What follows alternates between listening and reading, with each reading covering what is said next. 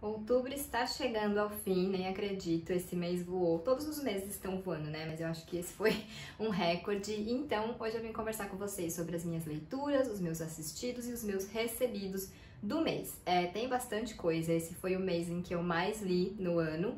Então, eu vou ser bem breve sobre tudo, pra gente não ficar aqui um ano, né? Então vou começar com as minhas leituras. Comecei o mês terminando A Volta do Parafuso do Henry James, que eu fui ler por causa de The Haunting of Bly Manor, né? A série, a segunda temporada da série antológica do Mike Flanagan. Eu até fiz um vlog quando eu assisti, quando eu maratonei a série, eu vou deixar o card aqui. E foi um livro que eu só li por causa disso, né? Porque eu não sou tanto dos clássicos assim, então eu fui realmente é, incentivada pela adaptação. Mas eu gostei muito da leitura, é, eu acho que é o tipo de terror gótico que eu gosto muito, né? É uma história bem intrigante que foi publicada em 1898, se não me engano, ou por aí, enfim. E até hoje é um assunto, é um, uma, uma história que ninguém consegue chegar a uma conclusão sobre o desfecho. Mas claro, cada um tem sua opinião e é uma leitura que eu super recomendo e que está disponível no Kindle Unlimited. Então, para quem quiser é, experimentar, ver se gosta e tal, é uma boa pedida. Depois eu terminei Regente Fiusa, do Gabriel Lombardi, que eu também fiz um vídeo aqui no canal, também vou deixar o card aqui, e é um livro nacional de uma, uma história bem ambiciosa, assim. Fala muito sobre como as lendas são construídas e como elas viajam através do tempo. Foi uma leitura bem interessante. Depois eu li Teoricamente Princesa, da Alicia Cole. Também fiz vídeo aqui no canal. É um livro que traz muito sobre representatividade, então achei legal trazer esse assunto que eu gosto tanto, que eu acho tão importante aqui pro canal, falando sobre Teoricamente Princesa, mas já adianto que foi uma leitura que eu gostei. É um romance bem gostoso de ler, de acompanhar, daquele tipo leve pra gente dar uma descontraída, mais parecida, mas ele também traz alguns temas importantes e traz essa questão da representatividade, então já fica a recomendação.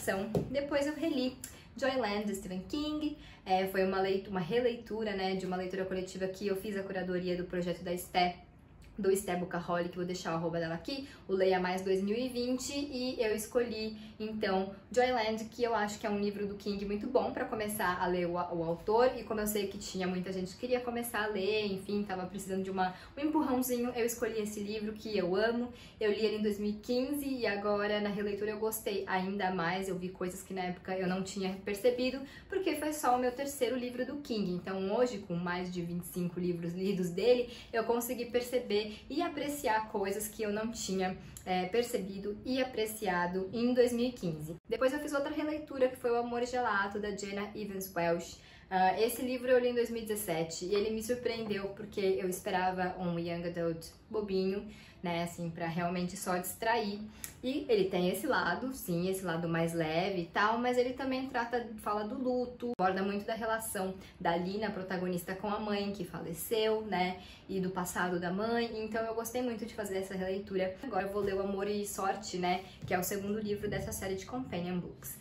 Depois eu li Cartas para Martin, da Nick Stone, que foi um livro assim que eu já esperava bastante, né? Porque ele fala muito sobre racismo e eu tinha altas expectativas sobre essa história, mas ainda assim ela me surpreendeu demais, porque eu acho que nesse livro a Nick Stone consegue uh, mostrar muito bem como o racismo funciona hoje em dia, né? Quais são as engrenagens dessa questão. Porque muita gente acredita que o racismo não existe mais, que hoje a gente tem uma igualdade de direitos e oportunidades, e não é bem assim, né? Então, é, a Nixon conseguiu mostrar, ela conseguiu ilustrar muito bem essa questão, né? Que a gente só não entende se a gente realmente não quiser.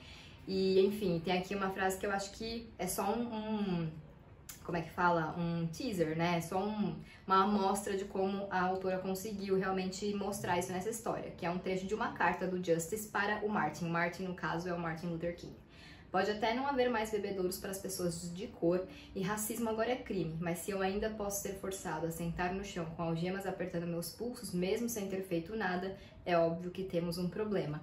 Então, essa frase eu acho que já diz muito e esse livro inteiro é um tapa na cara, né? Porque ele traz muitas verdades, muitas reflexões e ele é um livro doloroso, né? Óbvio, eu já adianto isso, mas também é um livro muito necessário e que eu já tô indicando para todo mundo, porque acho que todo mundo deveria ler. E fora isso, ele é um livro gostoso de ler, apesar de toda essa carga, né, densa que ele traz. É uma leitura muito agradável, então eu super recomendo. Aí eu li mais um nacional, porque As Madrugadas São Longas, da Mila Cassins, e é um livro de contos. É, a maioria são contos curtinhos, tem alguns contos, contos mais longos e também tem ilustrações. Então, ele é um livro bem rapidinho de ler. E é um livro de terror, né? E eu gostei muito. Uh, tem, eu acho que em alguns momentos eu fiquei bem aflita, que é uma coisa que eu espero, né? Em histórias de terror e afim, tem muito suspense também. E a Mila, ela tem uma. Ela ela tem uma característica assim que eu, que eu senti em todos esses contos de cutucar a gente, de provocar, sabe? Ela, ela aborda coisas sobrenaturais e tal, mas ela também mostra muito do lado humano das coisas, né? E do lado não tão bom. O segundo conto, deixa eu ver, lembrar aqui, eu acho que é a Festa de Nossas Vidas, se não me engano, é a Festa de Nossas Vidas, é um, acho que é o conto mais longo do livro, e ele traz muito essa questão, assim, né? Porque a personagem fica com uma sede de vingança ali, e isso deixa ela cega. E tem uma questão sobrenatural, né? Mas também tem esse lado humano realmente com que a gente pode se conectar, mesmo que a gente não queira. Mesmo que a gente não concorde com a personagem, a gente vai ver ali alguns sentimentos que a gente entende e que eventualmente a gente poderia sentir também. Então eu gostei bastante e indico. E por fim, eu li Um Casamento Americano da Tayari Jones foi o livro, tá até com marcador ainda, é, foi o livro de novembro, de outubro da Elícia das Migas, que eu tenho com a Dani, do Resenhas de Algodão. E esse livro sempre foi um livro que eu vi muita gente falando é, com é, opiniões divididas. Muitas vezes as pessoas falam, ah, eu gostei, mas uma coisa me incomodou muito, ou não gostei. Então eu tava curiosa. E realmente ele é um livro que a gente termina ele pensando. É, tentando organizar os nossos sentimentos em relação a tudo que acontece, especialmente na segunda metade. Mas eu gostei bastante do livro. Eu só acho que em alguns momentos a autora, não sei, deu uma perdida ali, mas eu gostei muito e de qualquer maneira é um livro que fala. A Tara Jones fez um estudo, né? Ela, estudou muito sobre a questão de como o encarceramento em massa nos Estados Unidos é, impacta a vida das pessoas negras, né? E aqui a gente conhece o Roy que ele é preso por um crime que ele não cometeu, então a história parte daí. E eu acho que isso ela conseguiu mostrar muito bem, né? Esse impacto negativo que a questão do encarceramento é, em massa nos Estados Unidos e também a violência policial, de certa forma, é, trazem para a vida das pessoas negras. Então, isso com certeza foi uma missão que ela cumpriu. É só que a história em si tem alguns momentos que você fica meio que perdido, assim, porque você não sabe exatamente como você se sente em relação a esses acontecimentos. Então, eu sou do time das pessoas que gostaram, mas que tem algumas ressalvas, mas é uma leitura que eu recomendo, é um livro muito fluido, muito gostoso de ler. E por fim, comecei a minha releitura de It. Estou na página do 303 e tô lendo em inglês, tá sendo uma ótima experiência. Depois eu quero conversar um pouco mais sobre isso com vocês, né? Porque é o meu primeiro livro do King em inglês. Eu já comecei a ler o Iluminado, mas não acabei. E enfim, então depois eu vou falar sobre ele com vocês, sobre essa experiência com vocês, mas já quero adiantar que estou gostando muito dessa experiência, porque do livro a gente já sabe que eu gosto. Aí vamos ver o que eu assisti nesse mês. Bom, eu queria ver vários filmes de terror e acabei meio que falhando, porque eu fiquei realmente mais é, presa nessas presa não, né? Fiquei mais dedicada a essas leituras, mas eu comecei o mês com Gente que vai e volta, dirigido pela Patrícia Fonte que é um filme espanhol, se não me engano, e eu gostei. Ele é bem engraçado, assim, tipo, ele tem um humor diferente do que a gente tá acostumado tal. E, mas ele também tem um lado dramático que eu gostei e achei uma, uma ótima é, escolha de filme, fica aí a indicação. Vi o Halloween do John Carpenter, que é um clássico do terror slasher, e eu acho que eu tinha visto esse filme há muito tempo, se é que eu realmente tinha visto, e eu adorei, tá? Acho que ainda está no Prime, não sei, preciso checar. E enfim, eu, a minha ideia era ter maratonado alguma franquia né, de terror, é, ou Fred Krueger, ou Jason, ou Michael Myers, mas eu acabei não terminando, né? Só assisti o Halloween. Mas enfim, é um filme legal. Assim, tem os clichês e coisas, porque é um filme de 78, se não me engano, mas eu gostei muito da experiência. Depois eu vi Na Hora da Zona Morta, do David Cronenberg, que é uma adaptação do livro A Zona Morta, do King.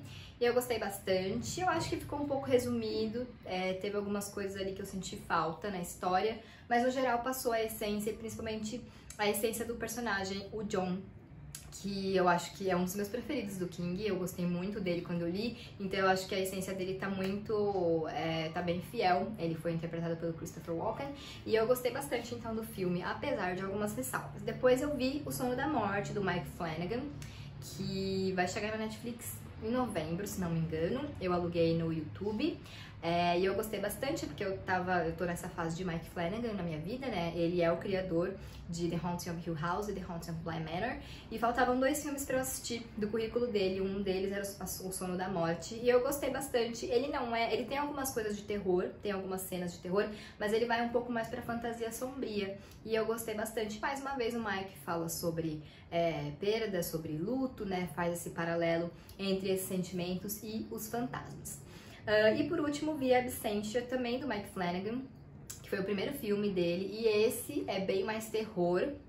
E eu não, não posso falar muito porque senão vou entregar, mas se você assistiu, conversa comigo, porque eu fiquei com uma.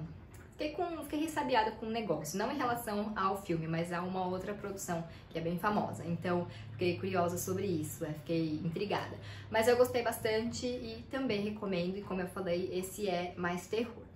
Agora vamos para séries. Séries eu consegui ver bastante. É, eu comecei terminando a segunda temporada de O Método Kominsky, que eu falei sobre ele no último vídeo, que era uma série com, é uma série com o Michael Douglas e o Alan Arkin, que eu tava gostando bastante e continuei gostando na segunda temporada, que eu acho que foi mais intensa, e deixa a gente curioso para saber o que vai rolar na terceira, principalmente porque não teremos Alan Arkin. Aí assisti, terminei de ver The Haunting of Hill House, que eu tava re revendo. E, bom, eu amo essa série, todo mundo sabe, é minha favorita de todos os tempos. E re-rever foi incrível, eu só percebi mais coisas, é, me identifiquei com outras. Uh, foi maravilhoso, já quero re-rever. Depois eu assisti Emily in Paris, Emily em Paris. E, bom, é, não gostei tanto, eu sei que muita gente gostou. Realmente é uma série muito gostosa de assistir, eu acabei maratonando, mas eu encontrei algumas questões que me incomodaram bastante e eu vou citar só algumas pra gente não se alongar.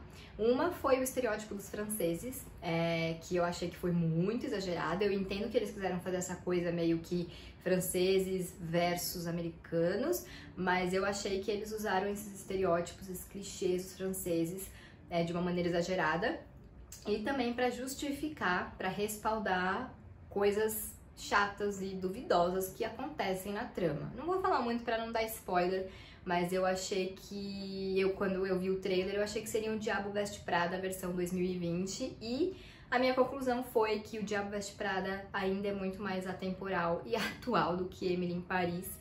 Então, assim, não é um não assista. Foi rapidinho de ver, me diverti, tem cenas legais, é muito legal ver Paris e etc. Mas eu acho que podia ser algo muito melhor, muito mais atual, né? É, e não foi. Mas tudo bem, mas não é ruim, tá? Só assistam já realmente esperando puro entretenimento e eventualmente algumas coisinhas que vão incomodar, não sei, incomodaram a mim, mas enfim, não é ruim. Aí eu vi The Haunting of Bly Manor, como eu falei, tem vlog aqui, falei, bom, enfim, tô falando, tem vlog aqui. E eu tava esperando muito essa série e eu peguei, né, saiu na sexta-feira, dia 9 de outubro, e eu assisti tudo na sexta-feira.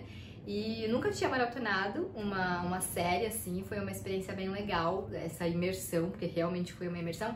E eu gostei bastante, ela é bem diferente de Hill House, mas ela cumpre aquela proposta do romance gótico que o Mike Flanagan queria, né? Que ele tinha falado que ele queria para essa temporada, então é bem isso. E se você não gosta de terror, de jumpscare, eu recomendo Bly Manor. Claro que ela é sombria e tem momentos que você vai ficar com um pouco de medo, pode até levar um sustinho, mas ela tem uma outra atmosfera. Toda é bem diferente de Hill House, que é realmente de susto. Então eu gostei muito. Quero rever porque como rever não, rever, porque como eu vi muito rápido, é, eu senti que algumas coisas ficaram um pouco atropeladas para mim. Mas eu vou com calma e depois, talvez esse ano eu ainda reveja, mas aí eu vou com calma. É, depois eu vi Bom Dia Verônica, que é a adaptação do livro é, do Rafael Montes com a Elana Casoy. E gostei, gostei bastante. É, um ponto que eu não tinha gostado no livro é que a Verônica, ela era uma personagem muito difícil da gente gostar. Né? Mesmo com as coisas que, enfim, eram, que a gente entendia de que ela era vítima, né? Era difícil uh, entender alguns comportamentos dela. E eu acho que a série humanizou muito mais a Verônica, é, realmente destacou as qualidades dela. Gostei muito disso, acho que caiu bem, sabe? Acho que com isso, é, eles terem, é, como é eu posso dizer, consertado algumas coisas na Verônica do livro, uh, acabou destacando as coisas boas que essa série tem, né? De realmente mostrar a violência contra a mulher e tudo o que ela causa, como ela destrói as pessoas, né? Então, eu acho que esse é o grande mote da história e que ficou muito claro na série. E, enfim, é uma série forte, tem muita violência. Uh, não recomendo para todos, né, por causa disso, mas é uma. Ficou. Realmente eu gostei dessa adaptação e as atuações estão ótimas, tanto a Camila Morgado quanto a Taina Miller, o do Moscovis também, mas acho que as duas estão realmente muito bem. E que mais? Assisti Upload, que eu acho que é perfeita para quem gosta de Good Place. Eu não tava esperando muito essa série, mas eu gostei muito. Acabei me envolvendo bastante. Trata dessa coisa de vida após a morte, mas com uma pegada mais tecnológica do que The Good Place. Mas traz algumas questões existenciais também. E, enfim, gostei bastante, me apeguei. E pena que só tem uma temporada, né? Espero que faça uma segunda logo. E por fim, assisti Cidade dos Mortos, que é uma série. Agora eu não sei se é ucraniana ou russa. Acho que é russa mas enfim, é que trata de pandemia, né? Tem uma pandemia lá na, na Rússia, na Rússia não, né? No mundo, e aí sobram algumas pessoas, né? E aí eles começam aquela coisa de sempre de pandemia, né? Aquela coisa apocalíptica. E muita coisa acontece nessa história. É uma história assim que eu demorei para me conectar, porque tem alguns personagens meio difíceis assim da gente gostar mas é, a história é muito envolvente. Ela é bem frenética, ela só vai ficando mais e mais frenética. E o fim da série, dessa primeira temporada, completamente assim, por favor, uma segunda. Eu nem amei a série, mas eu queria muito uma segunda temporada, tipo agora, porque realmente fiquei curiosa para saber o que, que vai acontecer. Então fica aí essa indicação é, de Cidade dos Mortos. E é isso. Lidos e assistidos, agora, agora vamos aos recebidos. Bom, então para começar aqui os recebidos, é, eu comprei o divertido glossário da Jana, da Lorena Ribeiro que também tem um canal no YouTube, também é produtora de conteúdo literário no Passo Entre Linhas. E esse livro dela é uma graça. Cadê? Eu queria mostrar a Jana, que ela é muito fofa. Olha só que bonitinho. Olha só. E, enfim, ainda não li, mas amei. Aí veio também com a fitinha do Senhor do Bonfim. Ela me mandou o marcador da Jana e do Passos Entre Linhas e também um glossário para eu fazer, né? Para eu fazer o meu glossário. Então nem preciso falar que esse é um livro infantil cheio de representatividade e que todas as crianças deveriam ler. Não li, mas eu tenho certeza que é isso. Então é, comprei esse livro da Lorena. Depois eu recebi o Amor e Sorte, uh, que como eu falei é o companion book de Amor e Gelato. Companion book eu acho que vocês sabem o que é, mas vou explicar mesmo assim, é quando uh, um personagem ou alguns personagens de uma história aparecem em outra, mas não é necessariamente uma sequência.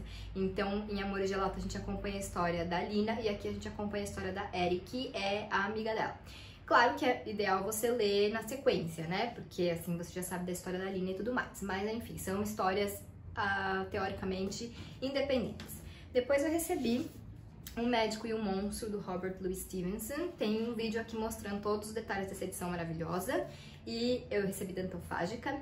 É, e essa edição tá linda, com vários materiais extras e ilustrações maravilhosas. E eu gosto muito desse livro, desse clássico.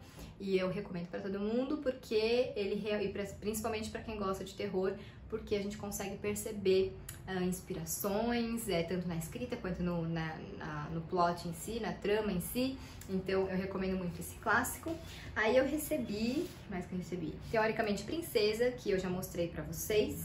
Recebi também uh, Os Dois Mundos de Isabel, que é da Daniela Arbex, que é autora do Holocausto Brasileiro e também Todo Dia Mesma Noite.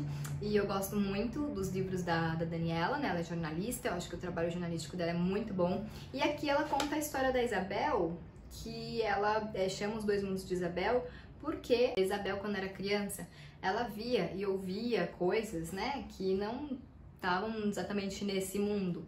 Então, claro que além de gostar do trabalho da Daniela, eu fiquei curiosa por causa dessa premissa. É uma história real, a Isabel realmente existiu. Então, eu fiquei curiosa, mas ainda não consegui ler, mas eu tô bem ansiosa para fazer essa leitura. que mais que eu recebi? Uh, recebi o Cartas para Martin, que também já mostrei para vocês.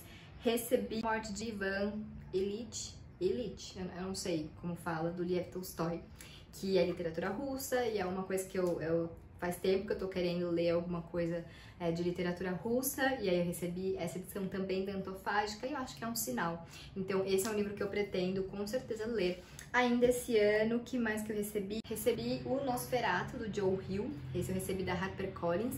Bom, o Joe Hill, vocês sabem, né, é filho do King, e eu ainda não li nada do Joe Hill sozinho, eu só li o Campo do Medo, que é o conto que ele escreveu com o King, né, com o pai.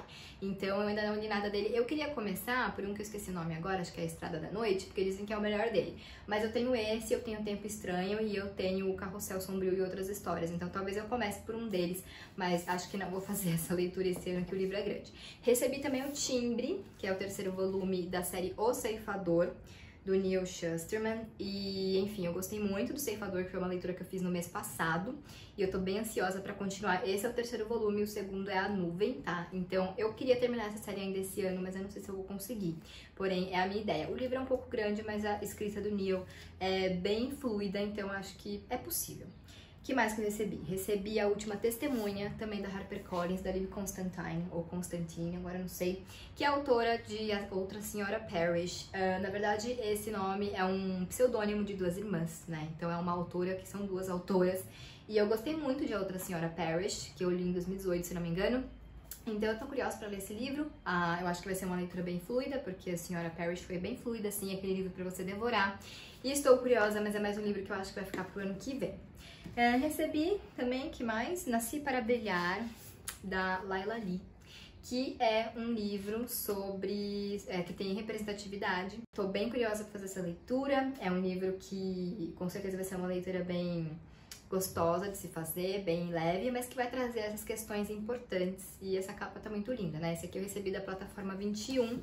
Vou tentar ler esse ano porque eu acho que é uma leitura rapidinha. que mais? Eu recebi também o Porque as Madrugadas São Longas, da Mila, que eu também já mostrei pra vocês. Recebi Cartas para Minha Filha, de Maya Angelou. Na verdade, eu comprei esse na, no Prime Day, que teve a promoção da Amazon. E tava super baratinho. E como eu quero ler tudo da Maia, é, eu aproveitei para comprar. Ainda não li, não sei quando vou ler, mas enfim, quero muito. Recebi alguns livros do King, é, cinco, cinco, livros do King. Eu fiz um primeiro unboxing do canal com esses livros, então eu vou deixar o card aqui para vocês irem lá assistir. E que mais? Recebi também uh, um Miss Dalloway da Antofágica com alguns espumantes da Ponto Nero. Recebi alguns livros da Morro Branco e recebi também o livro Mergulhos, que é, foi um projeto que eu apoiei no Catarse. E esses eu não vou mostrar aqui porque também fiz um unboxing, vou deixar o card aqui para vocês verem com mais detalhes. Então, foi um mês bem produtivo em todos os sentidos, lembrando sempre que o mais importante não é quantidade, sim qualidade. É, como eu sempre falo lá no Instagram e também falo aqui no YouTube, é muito importante a gente lembrar disso. Não é todo mundo que tem disponibilidade para ler tanto, é, ou prioridade, né? Às vezes a gente tem outras prioridades e tá tudo bem. Então não não levem essas, essa quantidade de leituras como uma cobrança para vocês, é somente como um incentivo para que vocês façam o que vocês gostam e se for ler, que vocês leiam é, sempre com prazer, né? Então é isso. Uh, foi o mesmo produtivo de leituras, eu fiz leituras que eu queria muito fazer ou refazer, então isso foi o que me deixou é, mais feliz. E espero que novembro seja produtivo também, porque tem muitas pendências ainda que eu quero uh, resolver, né, de leituras esse ano, e o ano tá acabando. Então é isso, é, se você gostou desse vídeo, curte, compartilha. Se você ainda não é inscrito no meu canal, se inscreve, que eu quero saber o que, que você leu por aí nesse mês que passou, qual foi a sua leitura preferida, o que, que você comprou, enfim, tudo isso. E é isso então, a gente se vê no próximo vídeo.